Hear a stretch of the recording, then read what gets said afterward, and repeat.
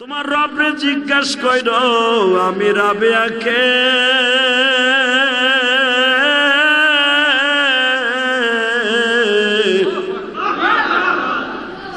আমার মৌলা বানিয়েছে আমাকে যার লাগিয়া স্বামী সন্তান। নানিসি। একটা মহিলার সবচেয়ে দামি হলো তার স্বামী আর সন্তান। আমি আমার মৌলার প্রেমে পড়ি, আমি স্বামী সন্তানের প্রেমে জীবনে পড়ি নাই গো। আমি আমার মৌলার প্রেমের পাব আমি আমার মৌলার প্রেমের পাব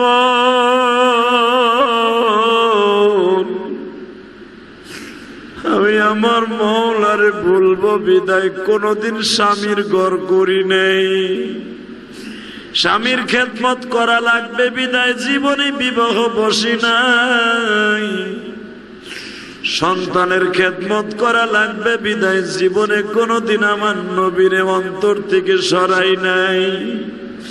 তুমি আমারে জিজ্ঞাস করো আল্লাহকে তোমার নবীকে? আরে আমি মৃত্যুর আগে আমার নবীর সাথে কথা বলে আসি কবরে তোমার আমারে রাখার পরে নিরানব্বইটা সাপ ঢুকিয়ে যাবে বাবা, এই নিরানব্বইটা সাপের মধ্যে পাঁচটা সাপ থাকবে, ভয়ঙ্কর। ফজরের রক্তের একটা সাপ থাকবে, ওর চক্ষু দুটা থাকবে নীল বর্ণের। জোহরের সময় দুইটা সাপ থাকবে, বাবা, ওর চক্ষু দুইটা থাকবে লাল বর্ণের। আসরের রক্তের যে সাপটা থাকবে, বাবা, ওর চেহারাটা থাকবে, বাবা, হলুদ বর্ণের। মাগরিবের টাইমের যে নামাজ কাজা করবা, দুইটা সাপ থাকবে, তাদের চেহারাটা থাকবে কুর্সি তামা বৈশা রাতের মতো অন্ধকার। ইশারের সময় ওক্তের নামাজ যারা ঠিক মতো পড়বা না। বাজারে পুরা সাপ দুইটা থাকবে বাবা। আলকাতরার চাইতে কালো। এই দুনিয়ায় দেখবা বিষাক্ত সাপের মধ্যে সাদা রঙের জাতি সাপ আছে। সবুজ রঙের জাতি সাপ আছে কাল কেউটা সাপ আছে বাবা। মাটির রঙের সাপ আছে, লাল বর্ণের সাপ আছে। আমার আল্লাহ সাপগুলা কেন স্যাম্পল দুনিয়ায় রাইখা দিছে? কবরে যাইবার পরে সাপগুলা তোমার আমার দংশন করবে। বাজানে ফজর সাপটা যখন তোমার কলিজার মধ্যে মাথাটা ঢুকায়া দিয়া কলিজাটা বাইর করে টান দিয়া বলবে, তোর কত বড় সাহস রে? কেমনে আমার মৌলার সাথে গাদ্দারি করে ফজরের নামাজটা সাইরে ঘুমায়া রইলি? রাবেয়া বসরি মনে রাখবে রাবেয়া বসরি একজন মহিলার নাম কার নাম? এ, কি নাম? এটা পুরুষ না মহিলা? এ রাবেয়া কোন পুরুষের নাম? হ্যাঁ? রাবেয়া বসরি যখন মারা গেলেন, মাত্র অল্প বয়সে রাবেয়া মারা যায়, আটত্রিশ বছর বয়সে রাবেয়া মারা যায়। কত বছর? রাবেয়া জীবনে বিয়ে বসে নেই। কেউ বলেন আটত্রিশ, কেউ বলেন বিয়াল্লিশ। অল্প বয়সে রাবেয়া মারা যায়। মৃত্যুবরণ করার আগে হাসান বসরির কাছে একটা সিডি লেখছে। হাসান বসরি যে আওলাদের আসল আলহামদুলিল্লাহ বললেন না? যদিও সে বসরা শহরে বাস করতেন, বসরা কিন্তু সৌদি আরবের মধ্যে একটা অঙ্গরাজ্য অর্থাৎ মধ্যপ্রাচ্যের মধ্যে একটা অঙ্গরাজ্য বসরা। যে বসরাটা আমার নবীর নিজের হাতে স্বাধীন করা দেশ। ইরাকের এই বসরাটা আমার রসুল ইরাক, ইরান, সৌদি কাতার, মিশর, এই শহরগুলো আমার নবীন নিজের হাতে শাসন করা দেশ। তাই বসরা শহরে রাবেয়া বসরি বাস করতেন। রাবেয়া বসরির জীবনে বিবাহ বসে নাই। তা হাসান বসরির কাছে মৃত্যুর আগে চিঠি লেগে গেছে। হাসান সাহেব, আমি মৃত্যুর পরে কবরে কেমন থাকি? আমার মৌলার সাথে একটু যোগাযোগ করে মোরাও কাবায় বসে আপনি মরলে একটু দোয়া করেন মনে রাখবেন এক অলির সাথে আর এক অলির কিন্তু যোগাযোগ আর অলিদের কোনো ভয় নাই অলিদের গার্ডিয়ান কে আলা ইন্না আউলিয়া আল্লাহ لا خوف عليهم ولا هم يحزنون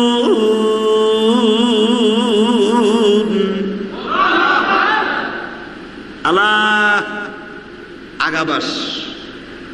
সতর্কবাণী, শোনো রে বান্দা। হে দুনিয়ার মানুষ, আলা ইন্না আউলিয়া আল্লাহ।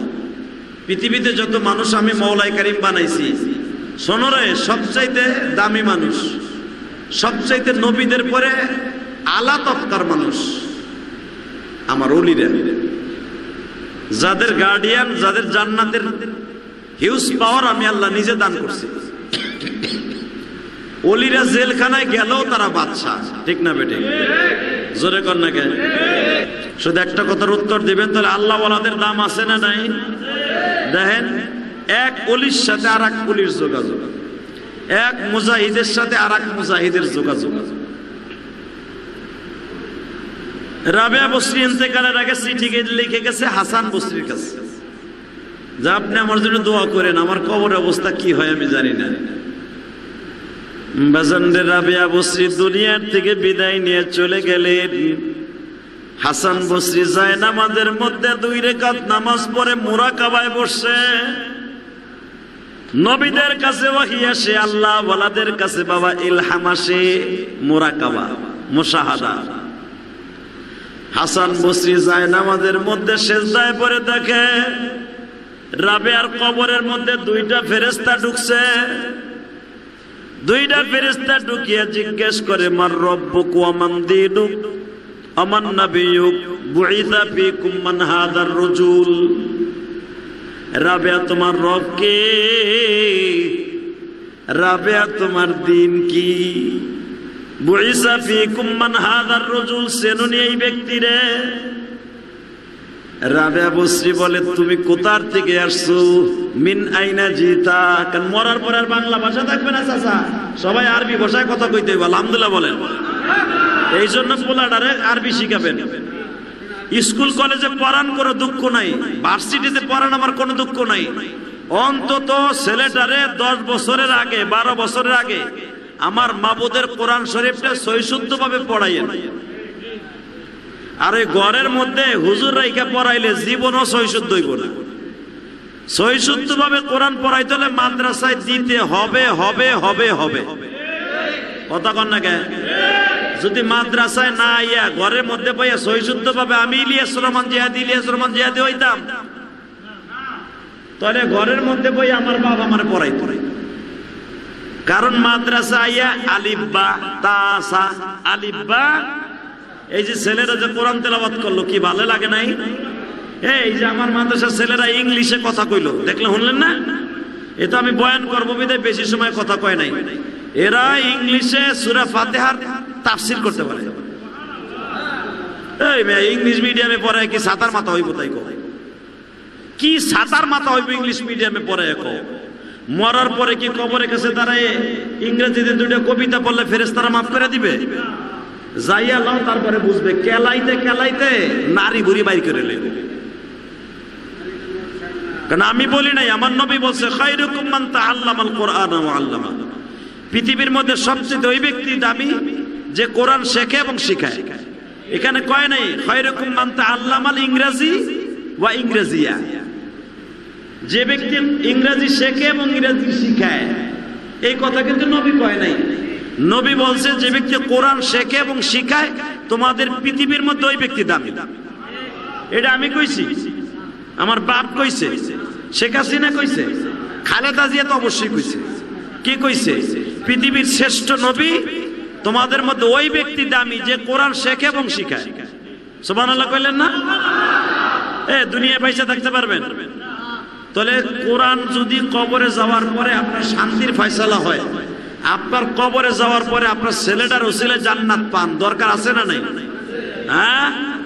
টাকা নেই দিনে তো হাসান বসরি মোরাকাবার মধ্যে বইয়ে দেখতেছে, রাবেয়া বসরির সাথে দুজন ফেরেস্তা আইছে। আয়া জিজ্ঞেস করছে, রাবেয়া, তোমার নাম কি? রাবেয়া। বাবার নাম কি? অমুক। তোমার রবকে দিন কি? নবীকে রাবেয়া কয়, মিন আইনা জিতা? কোথার দিয়ে আইছো? বলে, ইলাল্লাহ। আল্লাহর কাছ থেকে আইছে। আল্লাহর কাছ থেকে আইছে। এই কবরের থেকে আল্লাহর দূরত্ব কত? কয়, সাড়ে সাত হাজার বছরের রাস্তা। আসমান হলো সাড়ে সাত হাজার বছরের রাস্তা। তোমরা আসমান থেকে আইছো ইলাসা ইলাসামা তোমরা যদি আসমান থেকে আয়া থাকো, সাড়ে সাত হাজার বছরের রাস্তার থেকে আসছো, তুমি কি আল্লাহরে ভুলে গেছো? কয় না? আমরা আল্লাহর পক্ষ থেকে আইছি, ইলাল্লাহ। বলে, তোমরা সাড়ে সাত হাজার বছর রাস্তার থেকে আইসা যদি আমার মৌলারে না ভুলো।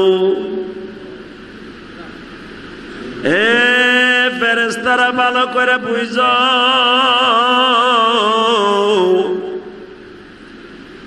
সাড়ে সাত হাজার বছরের রাস্তার থেকে তোমরা আসছো আমারে প্রশ্ন করতে। তোমরা যদি এত রাস্তা অতিক্রম করে আসিয়া মৌলারে না বলো আমার বাড়ির থেকে কবরস্থান মাত্র দশ কদমের রাস্তা।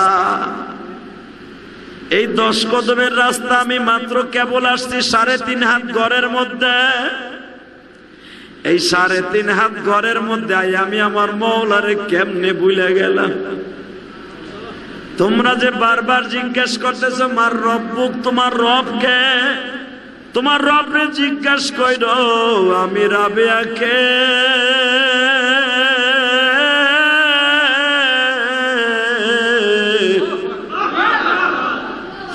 আমার মৌলা বানিয়েছে আমাকে, যার লাগিয়া স্বামী সন্তান নানিসি।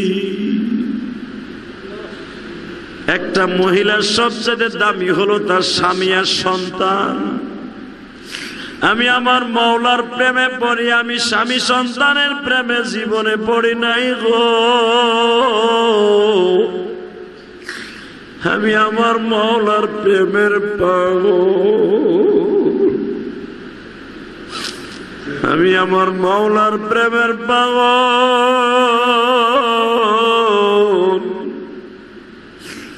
আমি আমার মৌলারে বলব বিদায়, কোনোদিন স্বামীর ঘর করি নেই। স্বামীর খেদমত করা লাগবে, বিদায় জীবনে বিবাহ বসি নাই। সন্তানের খেদমত করা লাগবে, বিদায় জীবনে কোনোদিন আমার নবীরে অন্তর থেকে সরাই নাই। তুমি আমারে জিজ্ঞাসা করো আল্লাহকে তোমার নবীকে? আরে আমি মৃত্যুর আগে আমার নবীর সাথে কথা বলে আসি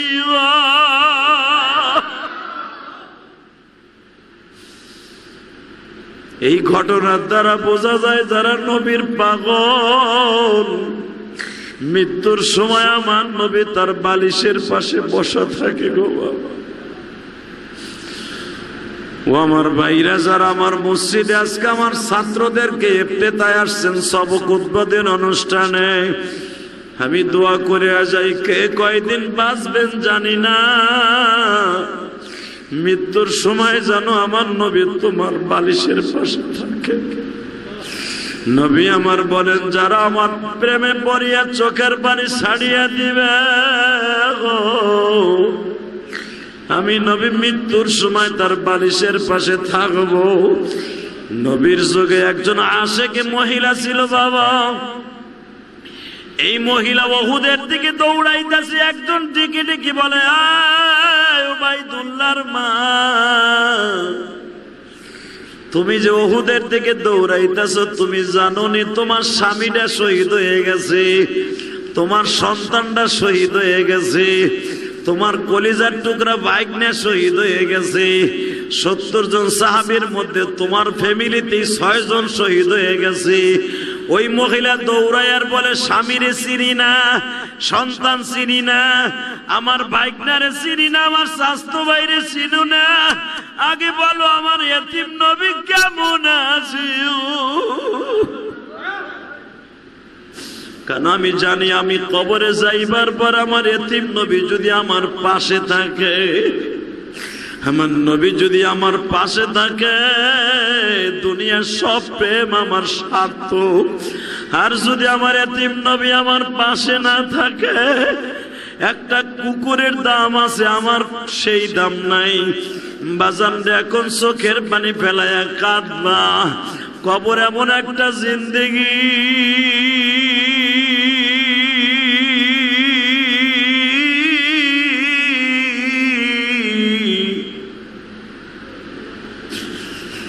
কবরে তোমার আমারে রাখার পরে নিরানব্বইটা সাপ ঢুকিয়ে যাবে। বাবা, এই নিরানব্বইটা সাপের মধ্যে পাঁচটা সাপ থাকবে, ভয়ঙ্কর। ফজরের রক্তের একটা সাপ থাকবে, ওর চক্ষু দুটা থাকবে নীল বর্ণের। জোহরের সময় দুইটা সাপ থাকবে, বাবা, ওর চক্ষু দুইটা থাকবে লাল বর্ণের। আসরের রক্তের যে সাপটা থাকবে, বাবা ওর চেহারাটা থাকবে, বাবা হলুদ বর্ণের। মাগরিবের টাইমের যে নামাজ কাজা করবা, দুইটা সাপ থাকবে, তাদের চেহারাটা থাকবে কুর্সি তামা বৈশা রাতের মতো অন্ধকার। ইশারের সময় ওক্তের নামাজ যারা ঠিক মতো পড়বা না, বাজারে পুরা সাপ দুইটা থাকবে, বাবা। আলকাতরার চাইতে কালো। এই দুনিয়ায় দেখবা বিষাক্ত সাপের মধ্যে সাদা রঙের জাতি সাপ আছে, সবুজ রঙের জাতি সাপ আছে কাল কেউটা সাপ আছে বাবা, মাটির রঙের সাপ আছে, লাল বর্ণের সাপ আছে। আমার আল্লাহ সাপগুলা কেন স্যাম্পল দুনিয়ায় রাইখা দিছে? কবরে যাইবার পরে সাপগুলা তোমার আমার দংশন করবে। বাজারে ফজর রক্তে সাপটা যখন তোমার কলিজার মধ্যে মাথাটা ঢুকাইয়া দিয়া কলিজাটা বাইর করে টান দিয়া বলবে, তোর কত বড় সাহস রে? কেমনে আমার মৌলার সাথে গাদ্দারি করে ফজরের নামাজটা সাইরে ঘুমায়া রইলি?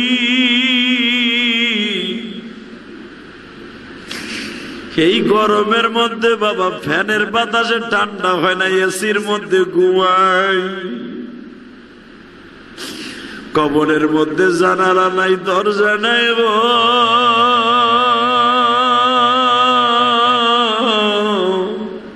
কেমনে থাকব? ওই কবর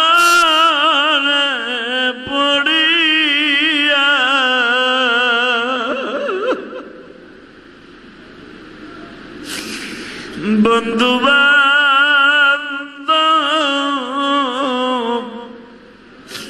কাউকে সে পাব বাবা, চোখটা বন্ধ করে একটু মনের দিকে তাকায় বলো। আমার যেই বাবা আমার মাদ্রাসায় ভর্তি করে দিয়ে গেল, আজকে আমার বাবা কবরে চলে গেছে। আহারে অনেকের এখানে আছে, মা দুঃখিনী পাইসা নাই, মা আজকে মাদ্রাসায় দিয়া কবরে চলিয়ে গেছে। বাবা মাদ্রাসায় ছাত্ররা যখন এতিম অবস্থায় পড়ে আর মনে মনে ভাবে, আহারে বাজার অনেক মাদ্রাসায় যাইয়া দেখি আমার মাদ্রাসায় অনেক ছেলে আছে, বাবা, বাবাও নাই, মাও নাই রে। রমজানের পরে একটা মাদ্রাসায় রংপুরে মা পিলে গেছি, বাবা। মাদ্রাসার একটা ছেলে আমার পাশে এসে দাঁড়াইছি। মোতামিম সাহ হুজুর বলে, হুজুর, আমার এই ছেলেটার মা নাই গো।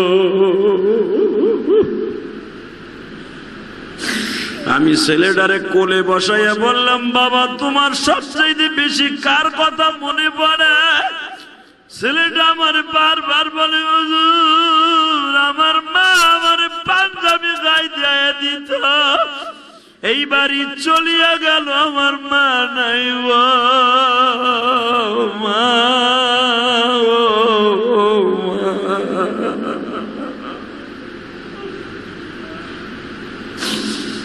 আমি তারে জিজ্ঞেস করলাম, তোমার কি সৎ মা এখন তোমার বাবা বিবাহ করছে এগারো বছরের ছেলেটা আমারে বলে রসুলের জামানায় কিন্তু সব সাহাবিরা হাফেজ কোরআন ছিল না। হাফেজ কোরআন ছিল মুষ্টিময় কয়েকশো সাহাবি। সোয়া লক্ষ সাহাবির মধ্যে আমার বিশ্ব বিশ্বনবীর কয়েকজন হাফেজ কোরআন ছিল, কয়েকজন। আল্লাহ উসমান গনি রাজিয়াল্লাহ তালান্ন হাফেজ কোরআন ছিলেন। ওসমান গনি যখন কোরআন তেলাবাত করতেন, আল্লাহর ফেরেস্তারা ওসমান গনির পাশ দিয়ে বসে যেতেন এবং ওসমান গনি বলতেন, এইটা আমার মাবুদের কোরআন। ওসমান গনি যখন কোরআন তেলাবাত করতেন ফেরেস্তারা তার সাথে আমিন আমিন বলতেন। শুধু তাই না আল্লাহ রসুলের এই হাদিসটাকে ওসমান গনি এমন ভাবে অন্তর করে নিয়েছিলেন। রসুল যখন বলছেন খৈরকুম মান্তা আল্লামাল কোরআন ও আল্লামা। তোমাদের মধ্যে সর্বোত্তম, সর্বোৎকৃষ্ট ওই ব্যক্তি ওই ব্যক্তি দামি। সারা পৃথিবীর মধ্যে ওই ব্যক্তি দামি তোমাদের মধ্যে। যে কোরআন শেখে এবং শিক্ষা দেয়। এবং এদেরকে শিক্ষার যে ব্যবস্থা করে দেয়, যেরকম আমি গুণাগার। নিজে ভবন করে দিছি ছাত্রদের জন্য। এই ছাত্ররা যতদিন পর্যন্ত কোরআন তেলাবাত করবে, এর সব আমিও পাব। এবং যারা আপনারা এই মাদ্রাসাকে ভালোবাসেন, তারাও পাবেন। যদি এই একটা ছেলে জান্নাতে যায়, আমাকে নিয়ে যাইতে হইবে। সবচেয়ে বড় জিনিস হলে পৃথিবী থাকার জায়গা না। থাকতে পারবেন? জোরে কন। আরও জোরে। কেউ থাকতে পারছে? চেষ্টা কইরাও পারছে। মানুষ কিন্তু মরতে চায় না। শেষ নিঃশ্বাসটা বের হওয়ার আগ পর্যন্ত মানুষ বাঁচতে চায়। পৃথিবীতে একজন মাত্র মানুষ এই দুনিয়ায় থাকতে চায় নাই। সে হলো আমার প্রিয় হাবিব। মুসা পয়গম্বরের কাছে তখন আজরাইল আসছে। মুসা পয়গম্বরকে বলা হয়েছিল, আপনি কত বছর থাকতে চান এই দুনিয়ায়? মুসাল্লাহ বলছিলেন, আল্লাহ আমারে রাখলে কত বছর রাখবে? বলে, আপনার শরীরের মধ্যে যতগুলা পশম আছে, অত বছর আপনি হায়াত পাবেন। মুসা পয়গম্বর বলেন এরপরে কি আমি মরবো না অবশ্যই মরবেন তো না আল্লাহর পয়গম্বর বলছিলেন তাহলে আমি এক সেকেন্ডও থাকতে চাই না কারণ এই পৃথিবীটা হলো কবিতার ভাষা এইভাবে বর্ণনা করেন এই हम सब मुसाफिर है वही आखिर ठिकाना कोई आगे रवाना है कोई पीछे रवाना আসছিলা একা, যাইবা একা, সঙ্গে কেহ যাবে না। একা একা পয়ডা রইবা, কেউ তো খবর নিবে না। এই দুনিয়া রঙের বেরন, ফুটলে আর জোড়া লাগে না।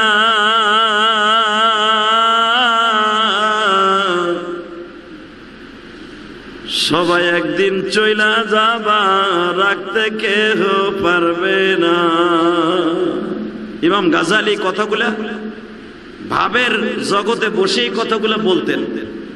তো ওনার সামনে যত মানুষ থাকতেন, মানুষগুলা পাগলের মতো লাফাইত। তো ওনার একজন মুরিদ ছিল, নাম ছিল তার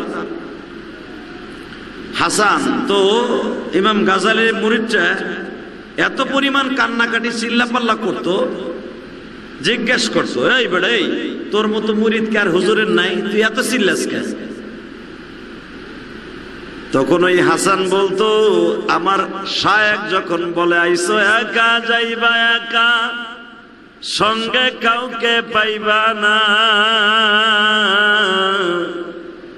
নারী দেখো, বাড়ি দেখো, কেউ তো তোমার আপন